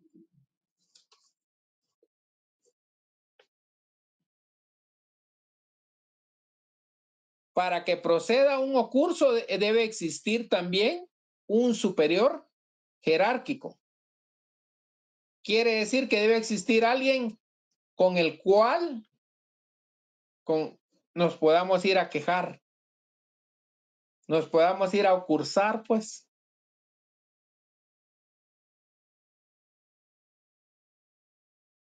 Si no hay, no existe con quien podamos ocursarnos. ¿Estamos? 157, ¿verdad? Silencio administrativo. Y aparte es que habla de un que se puede ser sancionado, ¿quién? El funcionario que incurriere en atraso. Estamos. Cien- 158. A mí me parece derogado. Está derogado, ¿no? Efectivamente está derogado. Quiere decir, quiere decir que si bien es cierto, en el inicio habla de sección única, recurso revocatoria y recurso reposición, en materia tributaria ya no existe qué? El recurso de Posición. Reposición. de reposición.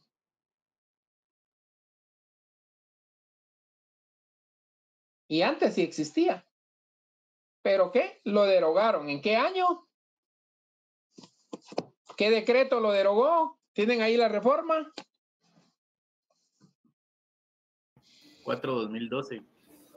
4 2012.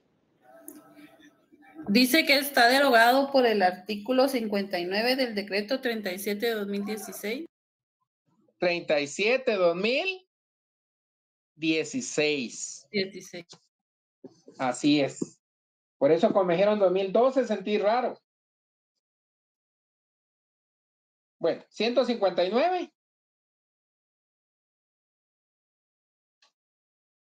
Trámites de recursos. Va. Pero ya sabemos que no son recursos. ¿Son qué? Recurso nada más.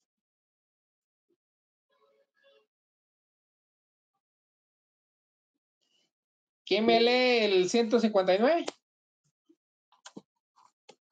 Yo, licenciado. Por favor. Perdón, Lick, antes de continuar, solo me quedó la duda, es que no pude apuntar. Entonces, el plazo para promover el proceso contencioso administrativo en materia tributaria Son son 30, 30 días. días. 30 días. Ah, correcto. Gracias, licenciado.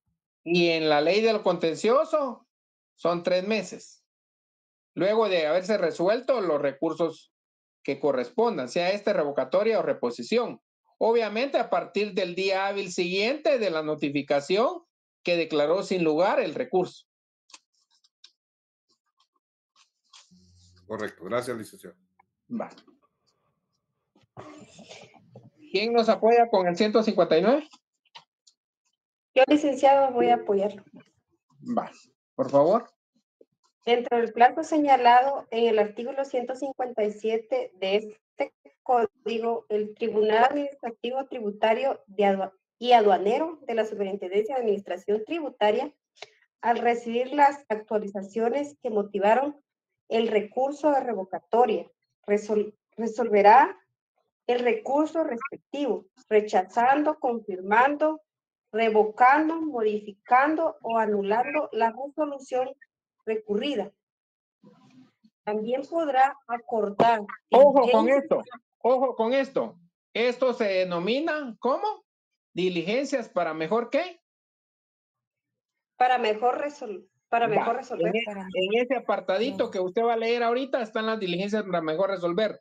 Anótenlo ahí en el margen. Léalo, por favor. También podrá acordar diligencias para mejor resolver, para lo cual procederá conforme a lo que establece el artículo 144 de este código. Va, vámonos al resolución- 144.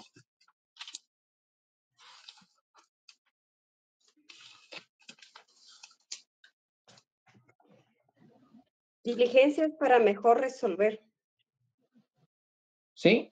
La administración tributaria ante la, antes de dictar resolución final podrá de oficio a una petición de parte acordar para mejor resolver. Inciso A, que se tenga a la vista cualquier documento que se crea conveniente. Inciso B, que se practique cualquier diligencia que se considere necesaria o se amplíe a las que ya se hubiere hecho. Inciso C, que se tenga a la vista cualquier actuación que sea pertinente. Estas diligencias se practican dentro de un plazo no mayor de 15 días hábiles. Contra la resolución que se ordene las diligencias para resolver, no cabrá recursos algunos. Vaya. Ojo. ¿Cuál es el plazo de las diligencias para mejor resolver? ¿Con base en el código tributario? 15 días. 15 días. No, un plazo no mayor de 15 días. Mayor de 15 días. Ojo. No mayor de 15 días. Quiere decir que la autoridad puede decir menos. No me digan 15 días.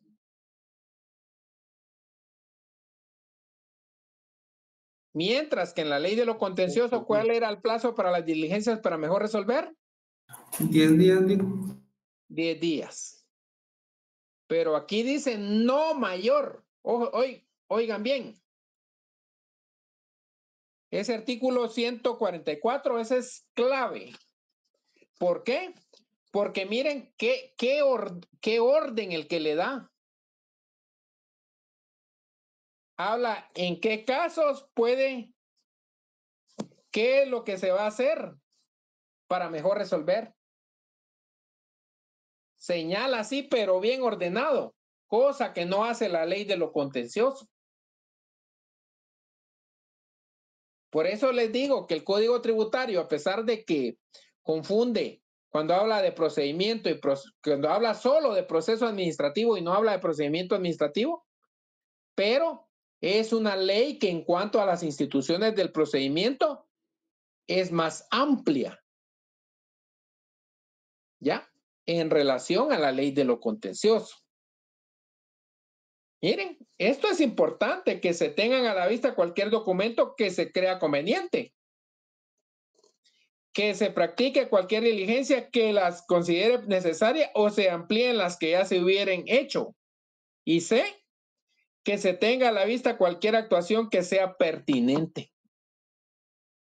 Es más amplio, explica más. Caso contrario de la ley de lo contencioso. Volvamos a donde estábamos. ¿Qué artículo estábamos? Ciento. 59. 159. Eh, ¿Sigo leyendo, licenciado? Por favor, ese es el último párrafo. La resolución del Tribunal Administrativo Tributario y Aduanero de la Superintendencia de Administración Tributaria, tributaria debe emitirse dentro, dentro de los 30 días siguientes a la presentación de la solicitud, conforme al artículo 157 de este código. En el caso que existan diligencias para mejorar resolver, el plazo establecido en el artículo 144 de este código se considerará adicional. Bye. ¿Qué quiere decir? Que puede hacer que existan diligencias para mejor resolver o puede hacer que no existan.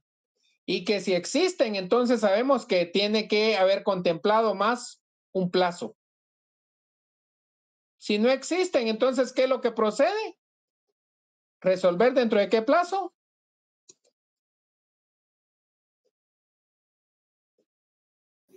Treinta días. Y si no resuelve, ¿qué hay? Silencio administrativo. ¿Y cómo debemos interpretar el silencio administrativo? Negativo. ¿Es negativo? ¿Dar por agotada la vía qué? La Administrativa. vía administrativa. Aunque aquí tiene otro término, si se dan cuenta. ¿Aquí qué establece? Se tendrá por agotada la instancia administrativa, dice aquí. Que es lo mismo. Y por resuelto desfavorablemente, ya lo sabemos. Para el solo efecto de que el interesado pueda, ¿qué? ¿Qué va a hacer? Promover el proceso, no el recurso. El proceso de lo contencioso administrativo en materia tributaria. Porque les cuento que aquí hay salas para conocer procesos contenciosos en materia administrativa y procesos contenciosos en materia tributaria. Antes solo era la sala 1 y la sala 2. La 1, materia contenciosa administrativa y la 2, materia contenciosa tributaria. Y ahora está la 3 y la 4. La 3, contencioso y la 4, ¿qué? Tributario. ¿Alguien trabaja por ahí?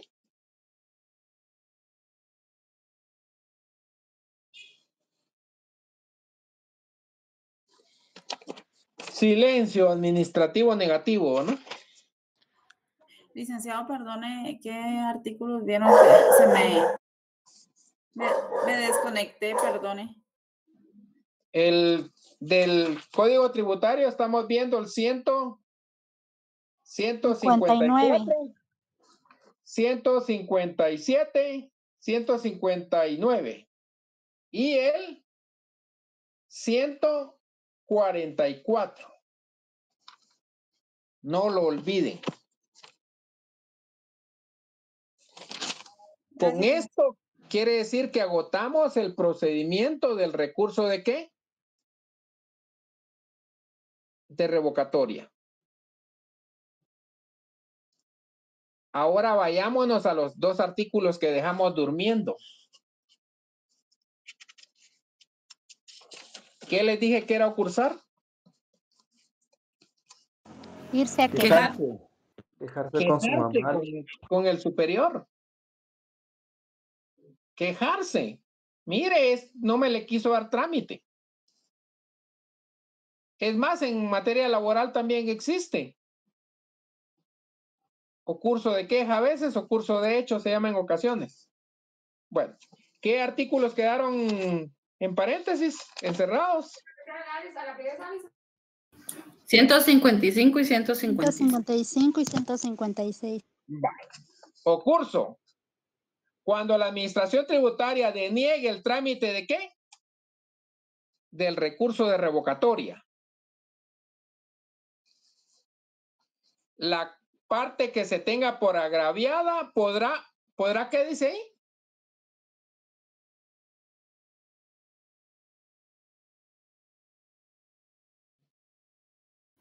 Ocurrir ante el Tribunal Administrativo Tributario y Aduanero de la Superintendencia de Administración Tributaria. Dentro del plazo de Dentro del plazo de tres días hábiles. dentro del plazo de tres días hábiles. Siguientes al de la notificación de la denegatoria. Quiere decir que le rechazaron el recurso de revocatoria. No llegó hasta su fin, no hubieron diligencias para mejor fallar, no, no incurrió en silencio administrativo ni nada. ¿Y qué más? Pidiendo se le conceda el trámite de qué? Eso es, eso es lo que pretende el curso, mire. El curso lo que pretende es que se le dé el trámite al recurso. Ese es el único efecto. ¿Por qué? Porque el curso nace a la vida jurídica nada más cuando se rechaza el recurso. Quiere decir que si no se rechaza, no hay necesidad de quejarse, de, cursar. Si usted eh, no se sienten agraviados, ¿será que ustedes se pueden ir a quejar? Solamente que estén locos. Tiene que haber un motivo para cursarse. ¿Y cuál es el motivo en el ocurso? No lo rechacen. El rechazo del recurso. Y específicamente el rechazo, el recurso de revocatoria. ¿Plazo para interponerlo? Tres días. Tres días hábiles. ¿A partir de qué? La notificación de la denegatoria. De la nega- denegatoria del recurso. revocatoria. De la denegatoria del recurso. Si la administración no resuelve concediendo o denegando el recurso, el recurso de revocatoria dentro de los 15 días hábiles siguientes a la interposición, se tendrá que dice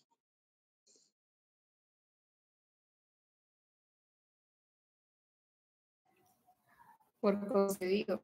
Concedido, pero ahí no es del recurso revocatoria, les aclaro. Ahí es si la administración no resuelve concediendo o denegando. Quiere decir que se quedó estancado con el ocurso.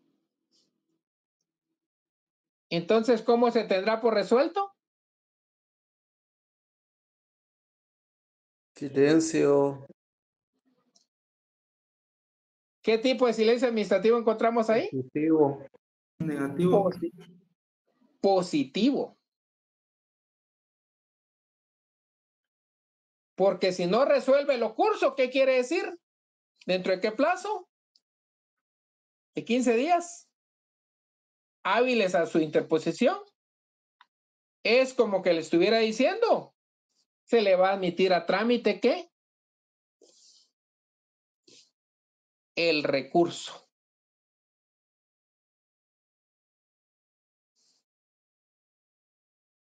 El funcionario o empleado público responsable del atraso será sancionado de conformidad con la normativa interna que para el efecto emita la administración tributaria. Quiere decir que puede ser sujeto de un procedimiento administrativo disciplinario. Así debería establecer en todas las normativas. Entonces nos encontramos que el código tributario sí es más desarrollado, más amplio. ¿Ya?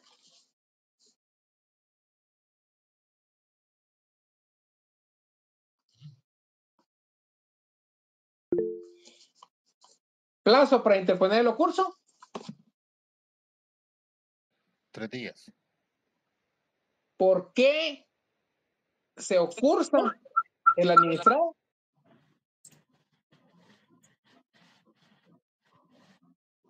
Porque no le dan trámite al recurso. Porque rechazan el recurso. Porque le rechazan el recurso, no le dan trámite. Plazo para interponerlo. Remarquemos. Tres días. Tres Tres días. días hábiles siguientes al de la notificación de la denegatoria. Ahí estamos.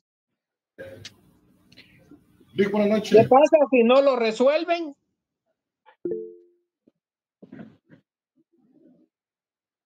¿Se tiene por qué? Fue concedido. ¿El trámite de qué?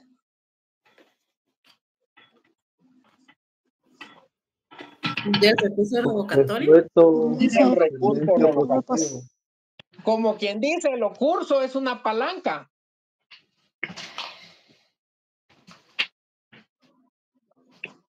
Ya me Licenciado- captaron. Ya me Licenciado, pero. ¿Sí? ¿Sí, Magali? el licenciado, pero no es de oficio, ¿verdad? No, el curso lo tiene que promover el, el recurrente, que no le admitieron su recurso. Ah, ok. Ese no es de oficio. Si usted no cursa y se le pasan los tres días, en automático quédese con su rechazo del recurso, porque ya no va a poder hacer nada, no va a poder ni, ni siquiera ir a la vía judicial si es desfavorable el recurso, porque nunca, nunca, nunca lo admitieron a trámite. ¿Ya? Nelson, adelante. Sí, licenciado, buenas noches. Disculpe, solo me quedó una pequeña duda en el, en el segundo párrafo del artículo 155, donde Sí. establece, si la administración no resuelve concediendo o denegando el recurso de revocatoria dentro de los 15 días hábiles siguientes, a su interposición se tendrá por concedido este y deberán elevarse las actuaciones al Tribunal Administrativo Tributario y Aduanero de la Superintendencia de Administración Tributaria. O sea, Pero ahí se refiere, Nelson, ahí Ajá, se ajá. refiere a que se interpuso el ocurso y a que el órgano, el, a, a que el órgano administrativo no se pronunció. perfecto. Entonces ahí se, ahí se puede decir que se declara el silencio administrativo positivo, como decía el Así compañero. es, así es. Perfecto, licenciado. Muchas gracias. Muy ¿qué procede si lo declaran con el silencio administrativo positivo? Pues continuar con el trámite del recurso. ¿Y cuál es el trámite del recurso? Elevarlo, ¿qué? Dentro del plazo de cuánto? Dentro del plazo de... Ahí es igual que el contencioso. Ah, perfecto. ¿Del plazo de qué? Pregunto. Dentro del plazo de tres días. No. No. Un recurso para elevarlo, ¿cuál es el plazo que se tiene? 15 días hábiles. No, elevarlo. No, no parece adivinanza esto. Cinco días. Cinco días. Ay, Dios. Gracias, Esta es la razón, esta es la razón por la cual les quiero explicar dos veces. Les quiero explicar hoy y les quiero explicar qué. El lunes. Ah, el lunes. Mañana no, porque mañana hay que votar. Gracias, licenciado. Muy amable. Va. Ya me van a encontrar la lógica por qué les quiero dar doble este, es- este apartado.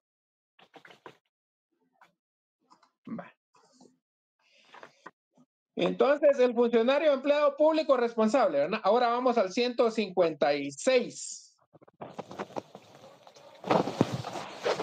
¿Quién me apoya con 156? Es lo último que vamos a ver. ¿Se lo leo, licenciado? Por favor. Artículo 156. Trámite y resolución. El Tribunal Administrativo Tributario y Aduanero de la Superintendencia de Administración Tributaria emitirá el recurso a la dependencia que denegó el trámite del recurso de revocatoria para que informe dentro del plazo perentorio de cinco días hábiles. Así es, quiere decir que no incurrió en silencio administrativo positivo. sino que recibió el curso y le dio el trámite al curso. Plazo para interponer el curso dentro de los tres días. Y después, ¿qué pasa cuando ya lo recibe a trámite? Viene. Cuando ya lo recibe a trámite, viene. Y entonces lo que procede es recabar ese informe. Ah. Continúo.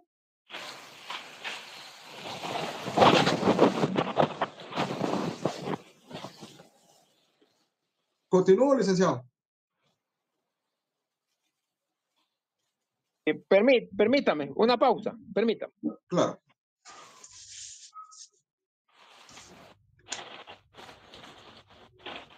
Alfredo René, tu micrófono.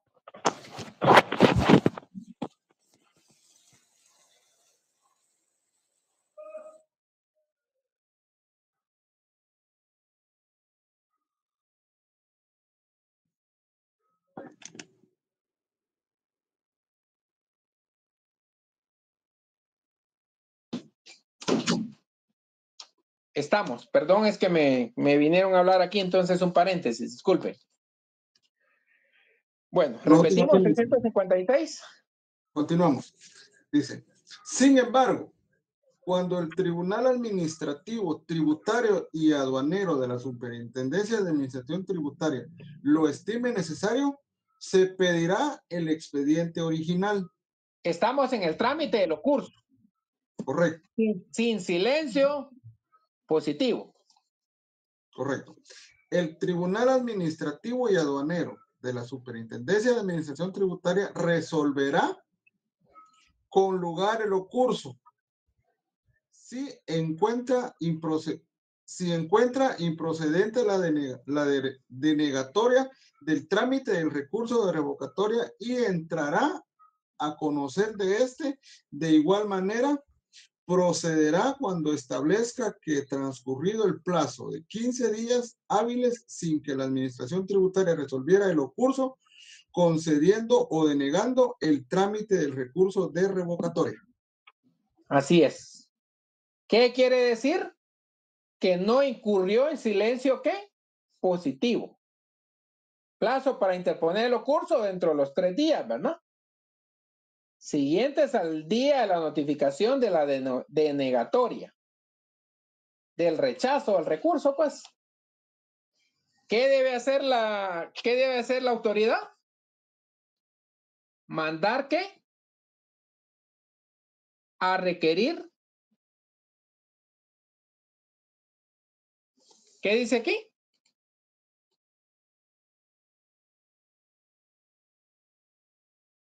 Miremos.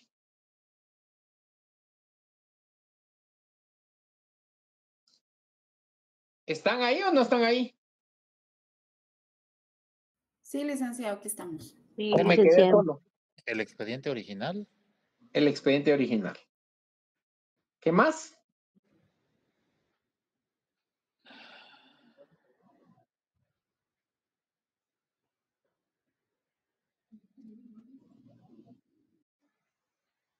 Resolverá. Ahorita le digo. Si resuelve con lugar el curso, ¿qué va a decir? Entra a conocer el, el recurso. El problema es que lo rechace, que lo declare sin lugar. Ahí sí, miren, lo único que nos quedaría es la interposición del derecho de, de, la acción de amparo por violación del derecho de petición. Es lo último que nos quedaría. Como quien dice, el primer round fue lo curso y el segundo round nos lo vamos a echar con el, con el proceso de amparo. Porque puede hacer que no lo declare sin lugar. En el mejor de los casos estamos diciendo que no lo declaró con lugar. ¿Y cuáles son los efectos de declarar con lugar un ocurso?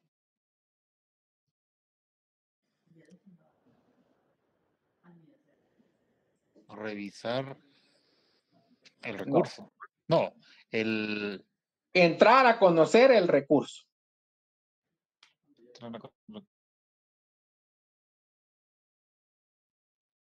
Si nos lo declaran con lugar, entra a conocer el recurso. Si la autoridad se tardó y no resolvió, por silencio administrativo positivo, entrar a conocer el recurso. El problema es si nos lo declaran qué? Sin lugar. Porque ahí quiere decir que nuestro recurso se quedó, como quien dice, rechazado. Y lo único que podríamos decir la tabla salvadora es que nos declararon con lugar un amparo por violación del derecho de petición. Solamente. Porque ahí se recuerdan que, que ahí no habla de otro recurso. Quiere decir que contra la resolución del curso no se puede presentar otro recurso. ¿Estamos? Hasta ahí vamos a dejar hoy. Yo sé que se, se quedaron revueltas las ideas. Es normal, normal. Pero en la próxima se van a dar cuenta que le vamos a atinar perfectamente. ¿Se esforzaron ustedes? Por supuesto. ¿Me esforcé yo? Por supuesto. Aquí todos nos esforzamos. ¿Ya? ¿Ustedes creen que otras secciones se esforzaron igual que ustedes? No. ¿Ustedes creen que otras secciones se van a aprender esto tan minuciosamente como ustedes lo están aprendiendo? No. Y no es que uno se crea la última Coca-Cola del desierto, se crea Calimán. Ni mucho menos Nerón, ¿verdad? Feliz noche. Feliz noche.